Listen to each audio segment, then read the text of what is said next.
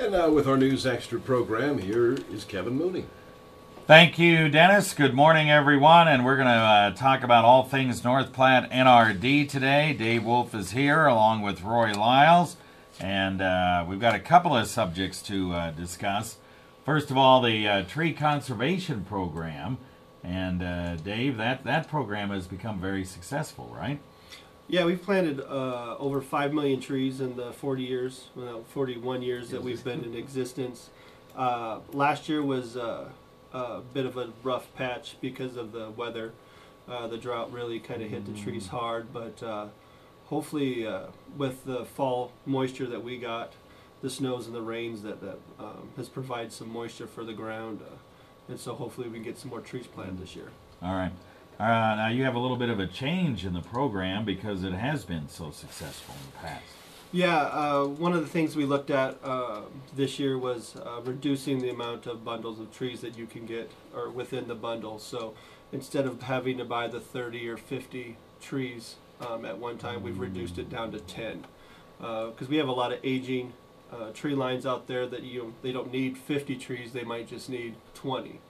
Uh, so they can go in and, and replace those, and it just provides a little more flexibility for the producer.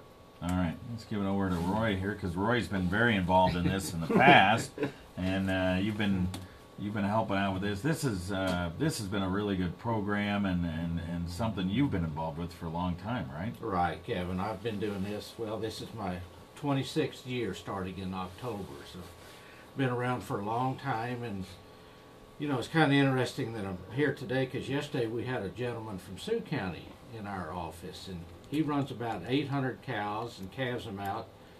And we designed a windbreak for him about 18 years ago. And with all the winds we've had in the last week or 10 days, he came in to thank me and ordered some more replants because he built a large octagon shaped windbreak where he can put all of his cows in the calf inside that windbreak. And he said, best investment he's ever made, and calving has been much easier. And he just wanted to thank us and continue planting trees. So that's a good success story. Yeah, and that's and that's the whole idea, mm-hmm. right? It is. I mean, it just helps. Nobody, including myself, we don't like to stand out in the wind and get sand blasted and blown. so those poor calves don't like it either. So let's do something to help those calves get up and running. Yeah. Yeah, well, I don't like it even in town, much less, out, out in the rural area, where it's even worse.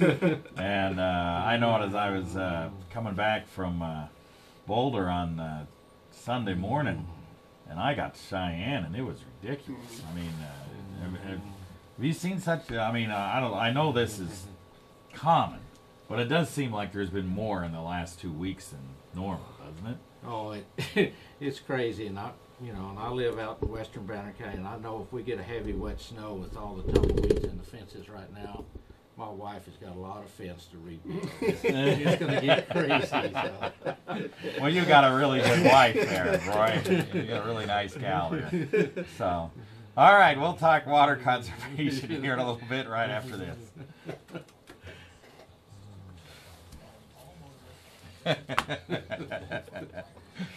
By God, You're lucky she's in class. I know can't hear any of this. she, she knows what's coming.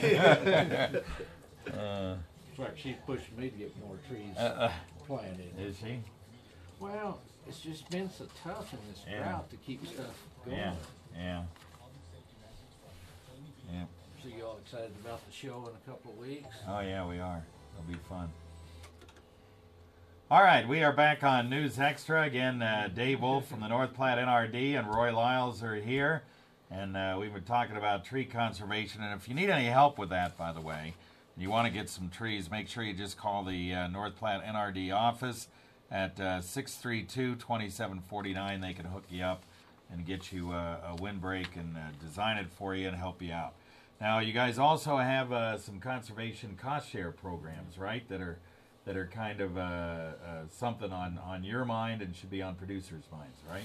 Right. We're in the process. I know in the past we've had just a two week sign up in the spring, and we've been reviewing with our operations committee about doing maybe a continuous sign up. We'd like some feed and input from our landowners out there, what they think would work for them, and we're thinking about prioritizing different programs. I know in '02, the big push in the drought was uh, pipeline stock tanks, windmills, that kind of stuff for livestock watering.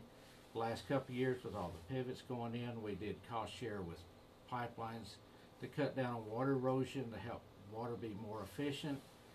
So uh, it kind of comes and goes with the territory and the weather, what happens. And we have ways that we can do things. We can help with fencing, planned grazing systems, mm-hmm. tree windbreaks, terracing, all kinds of conservation practices. And if we could hear from you, we'll be at the your show in February. Mm-hmm. Stop by our booth. Right.